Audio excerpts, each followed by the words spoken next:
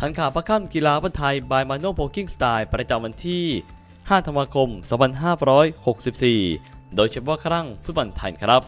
เรามาดูข่าวฟุตบอลไทยในช่วงของเจนวันนี้กันก่อนครับ ว่าจะมีข่าวอะไรน่าจกันบ้างฟุตบอลไทย ช่วงเย็นวันนี้ สื่อนอกเปิดโฉมแบ็กซ้ายคนใหม่ตัวแทนของธีรทรบุญมาทันมาแล้ว โดยไม่รู้ว่าแฟนบอลมารินอสจะรู้สึกเช่นไรนะฮะกับข่าวนี้ เมื่อสื่อนอกอย่างทางโมราโพสต์ข้อความ เปิดชื่อแบ็กซ้ายญี่ปุ่นกำลังจะเข้ามาทำหน้าที่แทนธีราทรบุญมาทันแบ็กซ้ายทีมชาติไทย บนถิ่นนิสันสเตเดียมในครั้งนี้ ซึ่งทางธีราทรบุญมาทันกำลังจะหมดสัญญากับทางต้นสังกัดญี่ปุ่นโยโกฮาม่าเอฟมารินอสในช่วงกลางปีนี้กันแล้วและก็ยังไม่มีความคืบหน้าว่าจะมีการเจรจาต่อสัญญาฉบับใหม่ แต่อย่างใดท่ามกลางกระแสข่าวมาว่า มีหลายทีมกำลังสนใจในตัวของเจ้าอุ้มธีรทรบุญมาทันเพิ่มเติมกันอีกด้วย โดยสื่อนอกระบุเลยว่าโยโกฮาม่าเอฟมารินอสเตรียมพร้อมสำหรับการแยกทางของธีรทรบุญมาทันเตรียมแผนดึงตัวคาสึยะนากาโตะจากทางคาชิมะแอตเลอร์ในครั้งนี้ทางนี้ต้องจับตาอนาคตของธีรทรคนนี้ให้ดี จะได้ค้าแข่งที่ญี่ปุ่นกันต่อไป หรือจะหาความท้าทายครั้งใหม่ในไทยลีกในครั้งนี้ไปในว่างานต้องรอดูกันต่อไปกันแล้วกันนะฮะ โกอุ้มจะไปจากทางโยโกฮาม่าเอฟมารินอสจริงๆหรือเนี่ยก็ฝากติดแฮชแท็กเชียร์ไทยเชียร์ไม่เลิกเชียร์โกอุ้มธีราทรกันด้วยครับ เรามาดูประเด็นข่าวต่อมากันดีกว่า ความรู้สึกแฟนบอลเวียดนามถึงทีมชาติไทยชุด AFF ครับในครั้งนี้ โดยการที่ผมเรามาดูกันดีกว่าว่าทางแฟนคอมเมนต์เวียดนามนั้นเขาว่ากันอย่างไรบ้าง ขณะที่ทางทีมชาติไทยนั้นกำลังลงทำการแข่งขันณเวลานี้ เรามาเริ่มด้วยที่คอมเมนต์กันนี้กันก่อนนะครับ เพราะโค้ชไม่เหมาะ ไทยก็ยังเก่งที่สุดในเอเชียตะวันออกเฉียงใต้ จากสถิติในครึ่งศตวรรษที่ผ่านมา ในทัวร์นาเมนต์ทางการของทีมชาติเราชนะไทยเพียงแค่ 2 นัด ที่พบกับทางไทยในศึกไทเกอร์คัพ 1998 ที่สนามฮังเดย์ และก็ AFF คัพ 2008 ที่สนามราชมังคลากีฬาสถานคอมเมนต์ต่อมา ครั้งนี้ไทยมีความตั้งใจเป็นอย่างมากเลยนะนานแล้วนะที่ติดมือเปล่ามาครั้งนี้คอมเมนต์ต่อมา บอกตามตรงเลยว่าเวียดนามยกเว้นในปี 1998 ไม่เคยเอาชนะไทยด้วยหัวใจ และก็จิตใจระดับทีมชาติได้เลย ตอนนี้ก็เช่นเดียวกัน ไทยยังคงเป็น 60-40 เมื่อเทียบกับเรา แม้ว่านี่คือทีมเวียดนามที่แข็งแกร่งที่สุดในประวัติศาสตร์ก็ตามทีคอมเมนต์ต่อมา เครียดจัดครับปีนี้ AFF น่าจะยากสำหรับทีมเวียดนามซะแล้ว คอมเมนต์ต่อมา เมื่อพิจารณาแต่ละตำแหน่งแล้ว ทีมชาติไทยมีปัจจัยดีกว่าเวียดนามเล็กน้อย แต่ยังคงต้องเห็นความแตกต่างหรือความสำคัญนะฮะความสามัคคีของทีม และฉันหวังว่าพวกเขาจะแสดงให้ดีสุดแล้ว เพื่อดูว่าเมื่อพวกเขาพบกับทางเวียดนามแล้ว สุดท้ายจะเป็นเช่นไร แล้วมาตัดสินกันไหมอะไรประมาณนี้คอมเมนต์ต่อมา ในเวลานี้ทีมชาติไทยและก็ทีมในภูมิภาคไม่ใช่คู่แข่งของเวียดนามหรอกนะ คอมเมนต์ต่อมาการพบกันในครั้งนี้เพื่อดูว่าเวียดนามหรือไทย หรือประเทศอื่น เป็นฟุตบอลที่แข็งแกร่งที่สุดในเอเชียตะวันออกเฉียงใต้ ในวันนี้สำหรับฉันแล้วฉันเอ็นเอียงไปทางประเทศไทยมากที่สุดนะ ซึ่งอันที่จริงแล้วบอลไทยยังนำหน้าเราอยู่ไม่กี่ก้าวในแง่ของความแข็งแกร่งทางร่างกาย และก็เทคนิคในครั้งนี้คอมเมนต์ต่อมา ตั้งแต่คุณปาร์คมาคุมทีมทีมชาติเวียดนาม ก็ไม่แพ้ทีมเอเชียตะวันออกเฉียงใต้ แต่ก็ต้องบอกอีกครั้งนะว่าเวียดนามนั้น ยังไม่แพ้ไทยในทัวร์นาเมนต์ทางการเมื่อทั้งสองฝ่ายนั้นมาพบกัน หรือเสมอกัน ซึ่งดังนั้นด้วยปัจจุบันไทยแลนด์มาร์คที่มีทีมที่แข็งแกร่งที่สุด ในขณะที่ทางเวียดนามขาดเสาหลักมากมาย และที่ต่างหรือว่าที่เหลือต่างก็สูญเสียความแข็งแกร่ง และก็พ่ายแพ้ติดต่อกันนานถึง 6 เกม และรอบคัดเลือกรอบที่ 3 ซึ่งก็มีอิทธิพลทางจิตใจ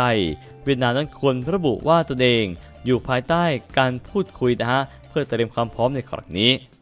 ซึ่งทุกคนนั้นเข้าใจว่าสถานการณ์ปัจจุบันของตนเองเป็นเช่นนั้น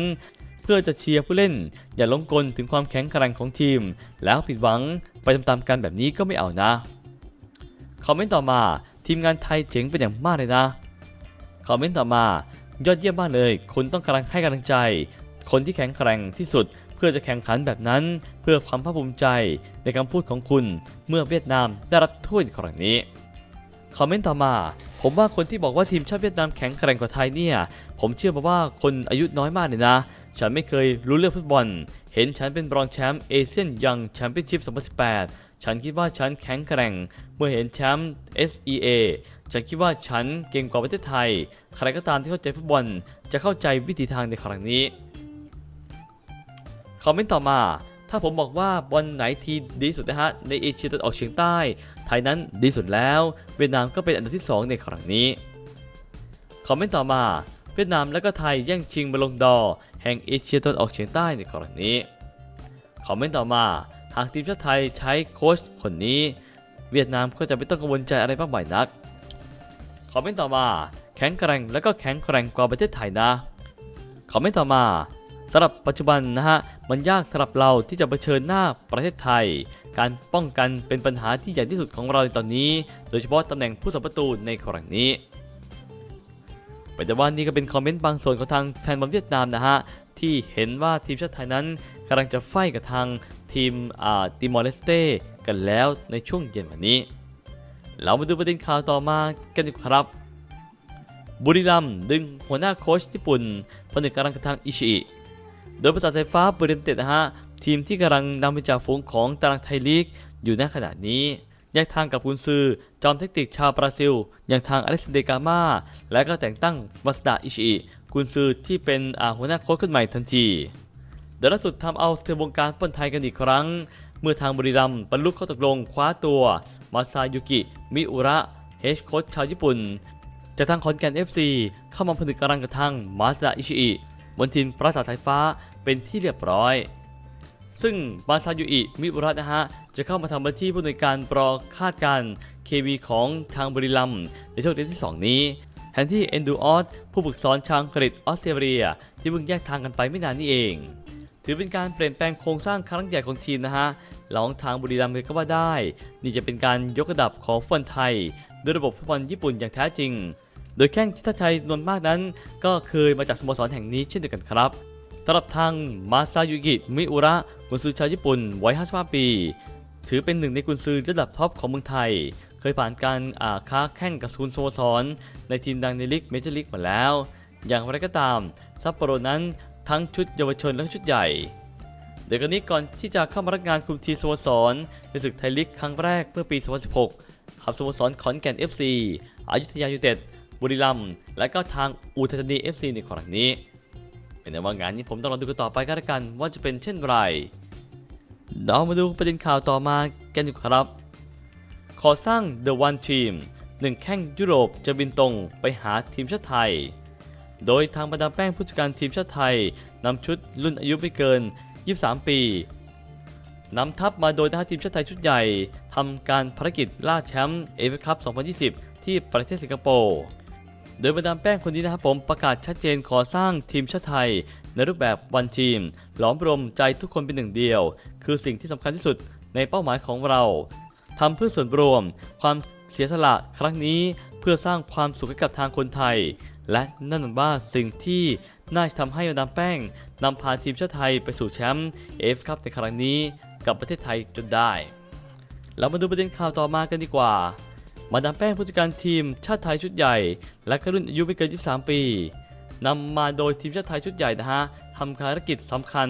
และก็ล่าแชมป์ AFF คัพ 2020 ในประเทศสิงคโปร์ในครั้งนี้ โดยมาดามแป้งประกาศชัดเจนขอสร้างทีมชาติไทย ในรูปแบบ one team หลอมรวมใจทุกคนเป็นหนึ่งเดียว คือสิ่งที่มาดามแป้งที่คิดว่าสูงสุดแล้วกับเป้าหมายของเราทำเพื่อส่วนรวม ความเสียสละครั้งนี้เพื่อสร้างความสุขให้กับแฟนบอลชาวไทย และนั่นก็คือสิ่งที่สำคัญที่สุดกับเป้าหมายของเราทำเพื่อส่วนรวมความเสียสละในครั้งนี้ เพื่อจะสร้างความสุขให้กับแฟนบอลชาวไทย และนั่นคือสิ่งที่จะทำให้มาเถิดทาดาแป้งนำพาทีมชาติไทยกลับไปสู่เส้นทางนะฮะ AFF Cup 2020 ในครั้งนี้กันอีกครั้งจะได้ไหม และนี่ก็เป็นสรุปข่าวลุสโมสรแมนเชสเตอร์ในช่วงเย็นครับ ขอบคุณทุกคนตามรับชมผม กดไลค์กดแชร์และกด Subscribe ให้กับผมครับ ขอบคุณเป็นอย่างมากเลยครับ